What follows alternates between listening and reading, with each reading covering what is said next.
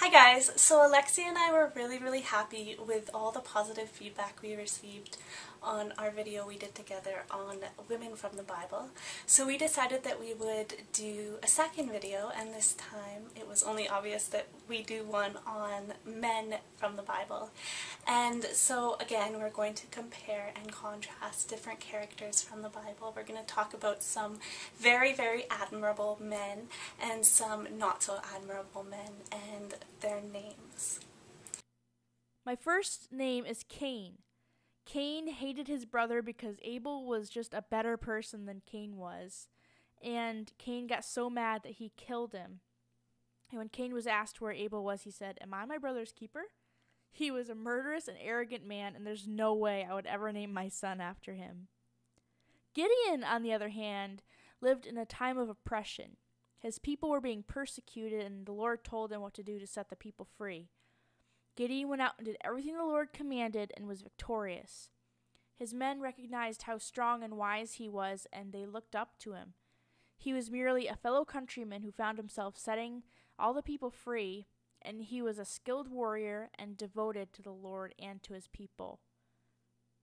The first two men that I'm going to talk about are actually brothers in the Bible. They are both sons of King David, and they are Absalom and Solomon.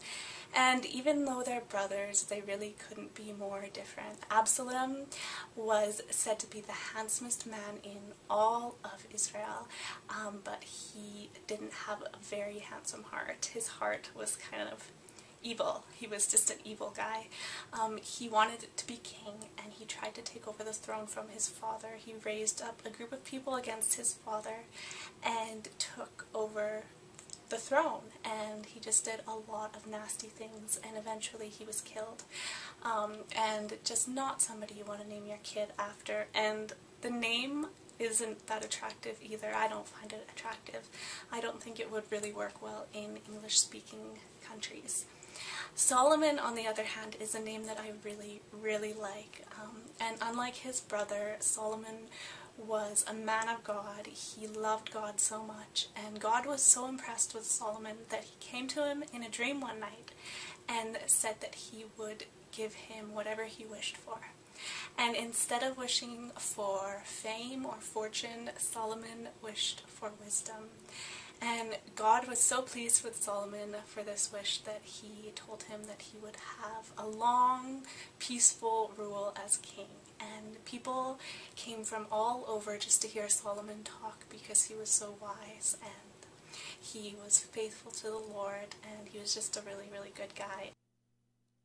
Jephthah, Jephthah, Jephthah. Jephthah didn't have the best cards dealt to him in his early life, but when he was older, he was called out to a battle and made a silly vow that if he overcame the enemy, he would sacrifice the first thing he saw come out of his door when he returned home. When he came back to his house, his only child, his daughter, came out dancing to meet him. Really, what else did he think would come out of his house to meet him when he returned from battle? He was foolish and thoughtless. Job, on the other hand, was a man who went through much suffering, but by his character was steadfast. In fact, Job lived a long time after the period of his life when he suffered, and it says in the Bible he was more blessed after his suffering than his life before.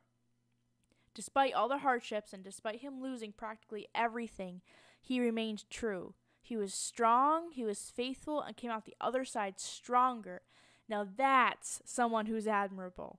The Bible says that Job died an old man and full of days.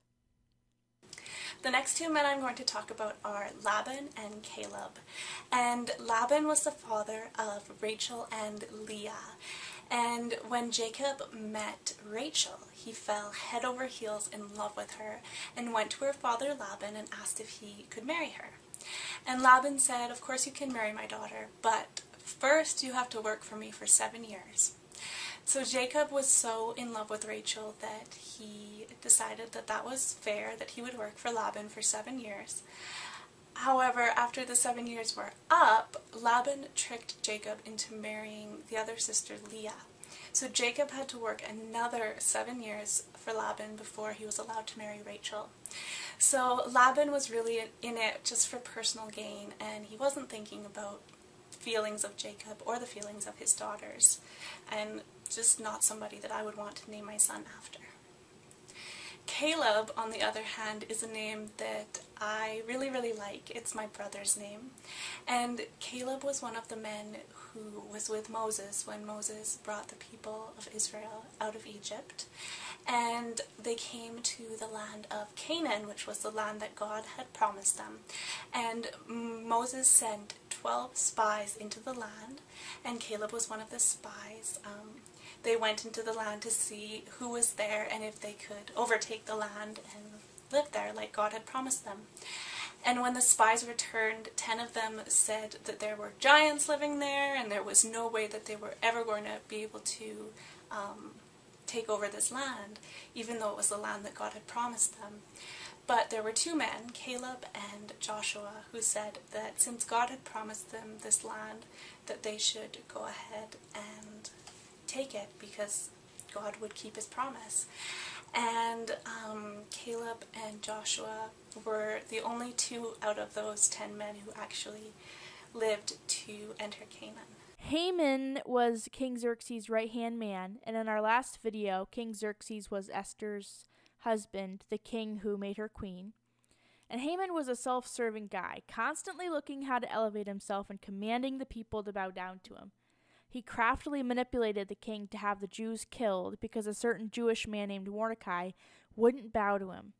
Ultimately, his deceit and maliciousness caught up to him, and he and his family were impaled on a tall pole that he had originally built to kill Mordecai. Now, Mordecai, uh, his cousin was the young Jewish girl named Hadassah. Her parents died, and Mordecai took her in and raised her as his own daughter. When the king of Persia, Xerxes, was looking for a new queen and rounded up all the maidens of Persia, Hadassah was taken also. Mordecai changed Hadassah's name to Esther to protect her. Through Mordecai's prayers and counsel, Esther showed herself to be like none other and became the queen. When Mordecai found out about a conspiracy to kill the king, he told Esther and saved the king's life. Mordecai is an example of a man who had a good heart and was a father to an orphan who he raised to be second to none, ultimately becoming the Queen of Persia who saved the lives of her people. The last two men I'm going to talk about are Judas and Lazarus. And I know Lady Gaga recently came out with a song called Judas, but that doesn't mean that you should name your, son, your son Judas because Judas in the Bible was not a very nice guy. He was one of Jesus' disciples. He was a friend of Jesus, but he turned him over to the people who hated him for a mere 30 silver coins. So, not exactly the nicest move there because um, that led to Jesus' death. And after uh, Judas had realized what he'd done, he ended up killing himself. So, definitely not a story that I would want to associate my child with. Lazarus, on the other hand, was a friend of Jesus, and he and his sisters um, were followers of Jesus, and he is a great example of what having faith can bring because Jesus brought him back to life after he had been dead for four days. Um, and I think that it's an extraordinary story of faith and friendship. Saul was a king of Israel and enjoyed it thoroughly. His vision wasn't for the betterment of the people, but for himself.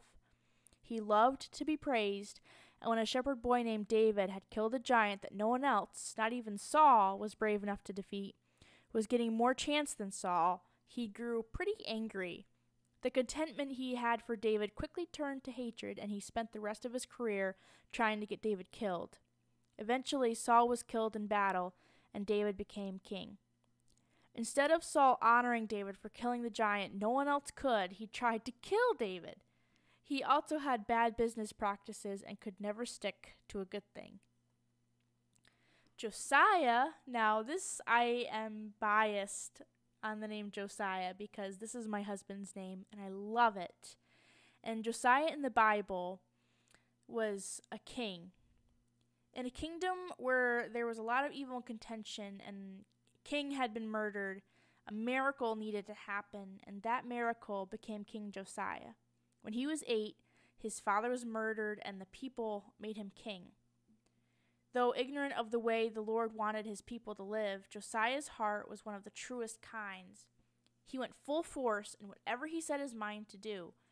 He had that special something that we all should strive for. One scripture describes him like this Neither before nor after Josiah was there a king like him who turned to the Lord as he did, with all his heart and with all his soul and with all his strength. That's a cool, cool guy. So that's it. Comment below and thanks so much for watching. See you next time. Bye.